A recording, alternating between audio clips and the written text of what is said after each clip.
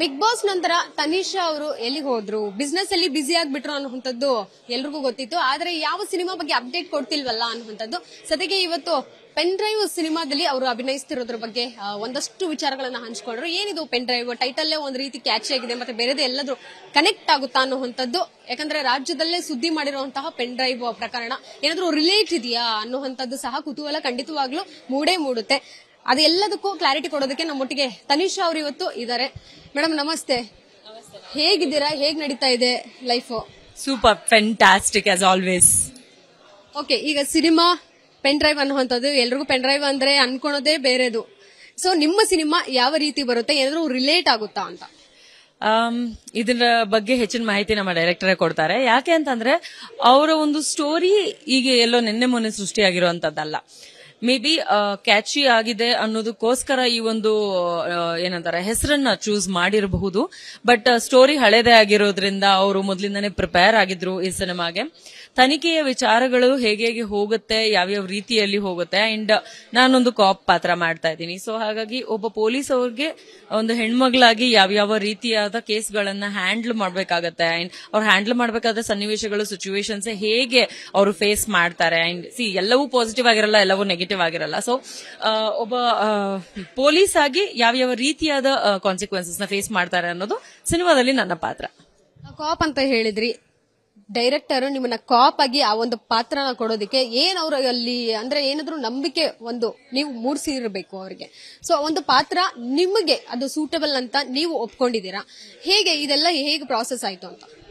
Basically ನಾನಂತಲ್ಲ, ಯಾವುದೇ artist ಆದ್ರೂ ಯಾವುದೇ ಪಾತ್ರವನ್ನು ಕೊಟ್ಟರು ನಾನು ಮಾಡ್ತೀನಿ ಅನ್ನೋ ಒಂದು ಕಾನ್ಫಿಡೆನ್ಸ್ ಅಲ್ಲಿ ಮುಂದೆ ಬಂದ್ರೆ ಅವ್ರ ಆರ್ಟಿಸ್ಟ್ ಸೊ ಆ ಒಂದು ಕ್ಯಾಟಗರಿಗೆ ಸೇರುವಂತ ಒಬ್ಬ ವ್ಯಕ್ತಿ ನಾನು. ಸೊ ಯಾವುದೇ ಪಾತ್ರ ಕೊಟ್ಟರು ಅದನ್ನ ನಾನು ಹಂಡ್ರೆಡ್ ಪರ್ಸೆಂಟ್ ಮಾಡಿ ಕರೆಕ್ಟ್ ಆಗಿ ಅದನ್ನ ಪ್ರೆಸೆಂಟ್ ಮಾಡ್ತೀನಿ ಅನ್ನೋ ನಂಬಿಕೆ ನನ್ನಲ್ಲಿ ನನಗಿತ್ತು ಅಂಡ್ ನನ್ನಲ್ಲಿರೋ ನಂಬಿಕೆ ಡೇವಿಡ್ ಅವ್ರಿಗೆ ಕಾಣಿಸ್ತು. ಸೊ ಹಾಗಾಗಿ ಅವ್ರು ನನ್ನನ್ನ ಈ ಪಾತ್ರಕ್ಕೆ ಅಪ್ರೋಚ್ ಮಾಡಿದ್ರು. ಅಂಡ್ ಇತ್ತೀಚಿನ ದಿನಗಳಲ್ಲಿ ನನಗೆ ಬರ್ತಾ ಇರುವಂತ ಏನಂತಾರೆ, ಈ ರಿಕ್ವೈರ್ಮೆಂಟ್ಸ್ ಕಾಲ್ ಅಲ್ಲಿ ಎರಡು ಕ್ಯಾಟಗರೀಸ್ ಜಾಸ್ತಿ ಬರ್ತಾ ಇದೆ. ಒಂದು ಹೆಚ್ಚಿನ ಕಾಪ್ ಪಾತ್ರಗಳು ಇನ್ನೊಂದು ಸಾಂಗ್ ಮಾಡೋದಕ್ಕೋಸ್ಕರ. ಸೊ ಈ ಎರಡು ಒಂದು ರಿಕ್ವೈರ್ಮೆಂಟ್ಸ್ನ ಕಾಲ್ಸ್ ಜಾಸ್ತಿ ಬರ್ತಾ ಇದೆ. ಸಿ ಮಾಡೋದು ಬಿಡೋದು ಆಮೇಲೆ ಬಟ್ ರಿಕ್ವೈರ್ಮೆಂಟ್ ಕಾಲ್ಸ್ ಬಂದು ಬಿಗ್ ಬಾಸ್ನ ನಂತರ ಇದಕ್ಕೆ ಹೆಚ್ಚಾಗಿ ಬರ್ತಾ ಇದೆ. ಮೊದಲಾದ್ರೆ ಹಾಗಾಗ್ತಿರ್ಲಿಲ್ಲ.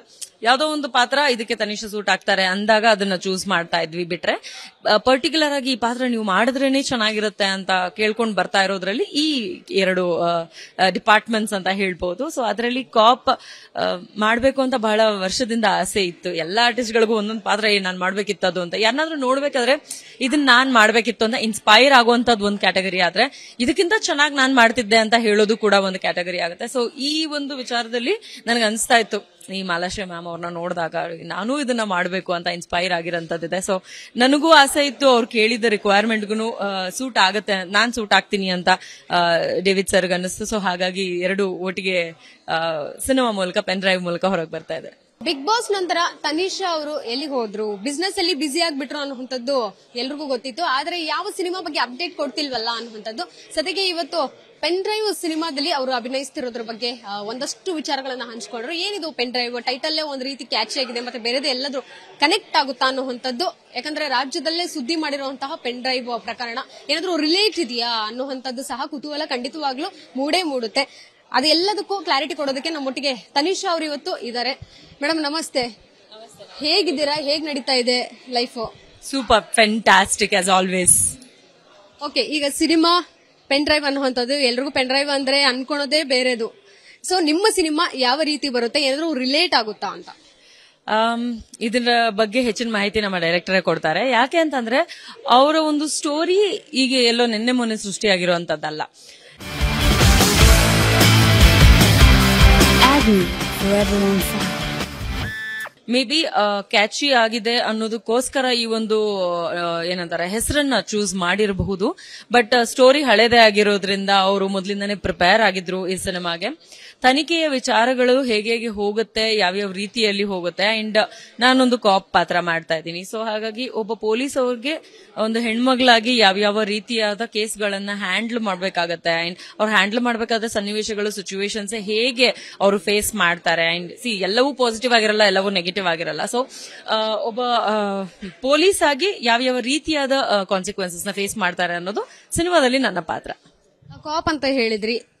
ಡೈರೆಕ್ಟರ್ ನಿಮ್ಮನ್ನ ಕಾಪ್ ಆಗಿ ಆ ಒಂದು ಪಾತ್ರನ ಕೊಡೋದಕ್ಕೆ ಏನ್ ಅವ್ರ ಅಲ್ಲಿ ಅಂದ್ರೆ ಏನಾದ್ರೂ ನಂಬಿಕೆ ಒಂದು ನೀವು ಮೂಡಿಸಿರ್ಬೇಕು ಅವರಿಗೆ. ಸೊ ಒಂದು ಪಾತ್ರ ನಿಮಗೆ ಅದು ಸೂಟಬಲ್ ಅಂತ ನೀವು ಒಪ್ಕೊಂಡಿದ್ದೀರಾ? ಹೇಗೆ ಇದೆಲ್ಲ ಹೇಗೆ ಪ್ರಾಸೆಸ್ ಆಯ್ತು ಅಂತ? ಬೇಸಿಕಲಿ ನಾನಂತಲ್ಲ, ಯಾವುದೇ ಆರ್ಟಿಸ್ಟ್ ಆದ್ರೂ ಯಾವುದೇ ಪಾತ್ರವನ್ನು ಕೊಟ್ಟರು ನಾನು ಮಾಡ್ತೀನಿ ಅನ್ನೋ ಒಂದು ಕಾನ್ಫಿಡೆನ್ಸ್ ಅಲ್ಲಿ ಮುಂದೆ ಬಂದ್ರೆ ಅವ್ರ ಆರ್ಟಿಸ್ಟ್ ಸೊ ಆ ಒಂದು ಕ್ಯಾಟಗರಿಗೆ ಸೇರುವಂತ ಒಬ್ಬ ವ್ಯಕ್ತಿ ನಾನು. ಸೊ ಯಾವುದೇ ಪಾತ್ರ ಕೊಟ್ಟರು ಅದನ್ನ ನಾನು ಹಂಡ್ರೆಡ್ ಪರ್ಸೆಂಟ್ ಮಾಡಿ ಕರೆಕ್ಟ್ ಆಗಿ ಅದನ್ನ ಪ್ರೆಸೆಂಟ್ ಮಾಡ್ತೀನಿ ಅನ್ನೋ ನಂಬಿಕೆ ನನ್ನಲ್ಲಿ ನನಗಿತ್ತು ಅಂಡ್ ನನ್ನಲ್ಲಿರೋ ನಂಬಿಕೆ ಡೇವಿಡ್ ಅವ್ರಿಗೆ ಕಾಣಿಸ್ತು. ಸೊ ಹಾಗಾಗಿ ಅವ್ರು ನನ್ನನ್ನ ಈ ಪಾತ್ರಕ್ಕೆ ಅಪ್ರೋಚ್ ಮಾಡಿದ್ರು. ಅಂಡ್ ಇತ್ತೀಚಿನ ದಿನಗಳಲ್ಲಿ ನನಗೆ ಬರ್ತಾ ಇರುವಂತ ಏನಂತಾರೆ, ಈ ರಿಕ್ವೈರ್ಮೆಂಟ್ಸ್ ಕಾಲ್ ಅಲ್ಲಿ ಎರಡು ಕ್ಯಾಟಗರೀಸ್ ಜಾಸ್ತಿ ಬರ್ತಾ ಇದೆ. ಒಂದು ಹೆಚ್ಚಿನ ಕಾಪ್ ಪಾತ್ರಗಳು, ಇನ್ನೊಂದು ಸಾಂಗ್ ಮಾಡೋದಕ್ಕೋಸ್ಕರ. ಸೊ ಈ ಎರಡು ಒಂದು ರಿಕ್ವೈರ್ಮೆಂಟ್ಸ್ನ ಕಾಲ್ಸ್ ಜಾಸ್ತಿ ಬರ್ತಾ ಇದೆ. ಸಿ ಮಾಡೋದು ಬಿಡೋದು ಆಮೇಲೆ ಬಟ್ ರಿಕ್ವೈರ್ಮೆಂಟ್ ಕಾಲ್ಸ್ ಬಂದು ಬಿಗ್ ಬಾಸ್ ನಂತರ ಇದಕ್ಕೆ ಹೆಚ್ಚಾಗಿ ಬರ್ತಾ ಇದೆ. ಮೊದಲಾದ್ರೆ ಹಾಗಾಗ್ತಿರ್ಲಿಲ್ಲ.